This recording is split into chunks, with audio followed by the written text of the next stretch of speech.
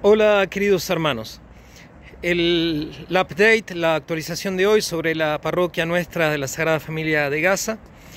Eh, quiero referirme sobre todo a la cuestión, a la situación de los enfermos y heridos. Eh, la gran parte de los heridos han podido, de los que están en la parroquia, han podido recuperarse.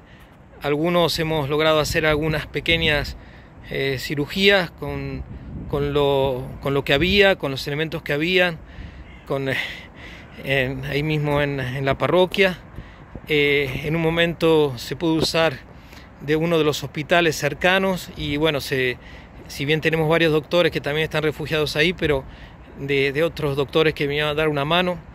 Eh, pero bueno, algunos siguen teniendo dificultades, consecuencias de, los, de las heridas o de las esquirlas que han tenido o directamente de los, de, las consecuencias de los, de los disparos de los, eh, como es, de los francotiradores, como saben la noticia de diciembre. Eh, y eh, bueno, una de, una de esas que está, que está herida es una joven madre, casada, con dos hijos chiquitos y en las dos piernas heridas por, ¿cómo se dice?, por esquirlas de bombardeos que fueron pegados a la parroquia, muy cerquita a la parroquia, eh, antes de Navidad. Eh, y bueno, se logró que le den el permiso para que salga hoy, pero le pido que recen porque así como han dado ese permiso, sería imposible porque ella no puede ir sola. No solamente por la cuestión cultural que una mujer eh, no, no viaja sola en esta zona, sino porque está herida, porque es joven, porque Están los dos niños chiquitos, uno es muy chiquito, eh, entonces se había pedido que vaya acompañada de su esposo y sus dos chiquitos. Y salió solamente su nombre. Y también hay otra señora mayor que no, no es que esté herida, ella está enferma y necesita una, una operación que no le pueden hacer en la franja. Y, y bueno, se descubrió otra enfermedad también que, que tiene que ser curada afuera.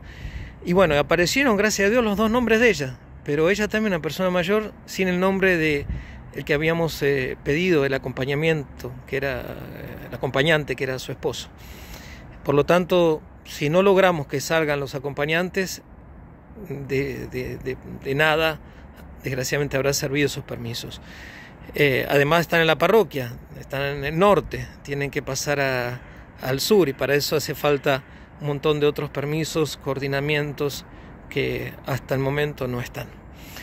Pero paradojalmente eso nos habla que de tantos signos, como decimos, contradictorios en estos días, eh, nos habla que algo está cambiando y esperemos que sea para bien, porque hacía tiempo que no aparecían nombres y nosotros hace mucho tiempo que estábamos insistiendo, pidiendo, suplicando un montón de autoridades eh, de distintos lados a ver si lograban trasladar estas personas, hay otras más, ¿no?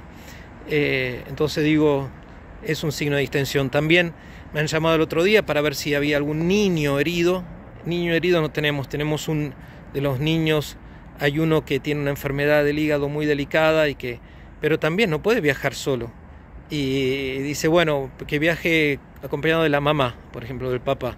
Pero tienen cuatro hijos, una familia joven y, también todos tienen miedo, porque no es la primera vez que, desgraciadamente, en los conflictos de Medio Oriente, particularmente de, Palestina, tanto en Cisjordania, o históricamente en Jerusalén Oriental o, en la misma franja, han quedado separadas las familias.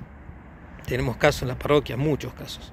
Entonces, eh, dice, no, dice, con gran dolor en el alma, porque podrían llegar a curarlo, sería para llevar a estos niños a Italia. Pero digo, son signos que dan algo de esperanza como que algo se está moviendo en orden a que se, se haga un stop y se comience a trabajar por la paz de manera más efectiva.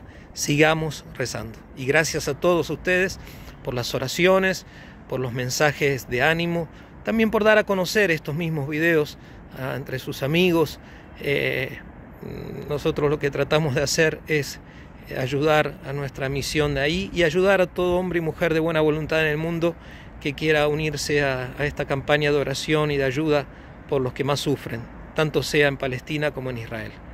Que Dios nos conceda la paz.